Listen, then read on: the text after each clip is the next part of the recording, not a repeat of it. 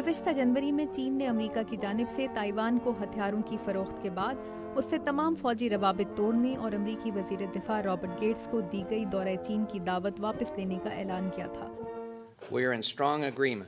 تاہم اس کے ایک سال بعد گزشتہ روز رابرٹ گیٹس نے چین میں اخبار نویسوں کو بتایا کہ چینی وزیر دفاع اور انہوں نے اس بات پر اتفاق کیا ہے کہ دونوں ملکوں کو غلط فہمیوں سے بچنے کے لیے مضبوط فوجی روابط کی ضرورت ہے۔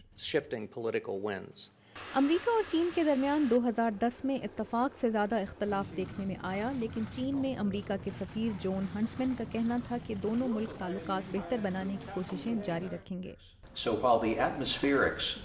ماحول اگرچہ گرم سرد ہوتا رہتا ہے اور دونوں طرف سے آپ کو اختلافی نقطۂ نظر سننے کو ملیں گے لیکن تعلقات کا درست اندازہ تبھی ہوگا جب ہم اختلافات کو ایک طرف رکھ کر بات کریں گے۔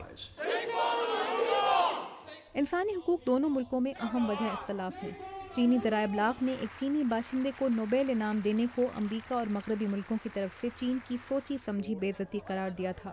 امریکی حکومت ایک اور چینی نژاد امریکی شہری شیو فینگ کو جاسوسی کے الزام میں آٹھ سال کی سزائے قید کے معاملے کا جائزہ لے رہی ہے۔ امریکہ اور چین کے درمیان شمالی کوریا کے بارے میں اختلاف ہے، جس کی طرف سے ایک جنوبی کوریائی جزیرے پر فائرنگ سے چار افراد ہلاک ہو گئے تھے۔ امریکہ کی جانب سے بار بار چین سے اس کے قریبی اتحادی شمالی کوریا پر دباؤ ڈالنے کے لیے کہا گیا، مگر چین نے ایسا نہیں کیا۔ دوسری طرف، چین کو بھی امریکہ اور جنوبی کوریا کی فوجی مشقوں پر اعتراضات تھے۔ کرنسی کے تنازع اور چین کے تجارتی منافع سے بھی امریکہ مسلسل تشویش کا شکار ہے۔ امریکی ماہرین چین پر تجارتی فائدے کے لیے کرنسی کی قیمت جان بوجھ کر کم رکھنے کا الزام عائد کرتے ہیں۔ چینی ماہرین کا کہنا ہے کہ دونوں ملکوں کے درمیان اختلاف کی وجوہات ایک سے زیادہ ہیں۔ ظاہر ہے طاقت کا توازن تبدیل ہو رہا ہے۔ چین ابھر رہا ہے جبکہ امریکہ مسائل کا شکار ہے۔ پھر دونوں ملکوں کے درمیان تہذیبی فرق ایک دوسرے کے لیے غلط فہمیاں اور اندرونی سیاست بھی ایک دوسرے سے مختلف ہے۔ چینی ماہرین کہتے ہیں کہ اختلافات کے باوجود دونوں ملکوں کے تعلقات میں بہتری کی گنجائش موجود ہے۔ چین کا اصرار ہے کہ وہ کسی خاص ملک کے خلاف دفاعی تیاریاں نہیں کر رہا۔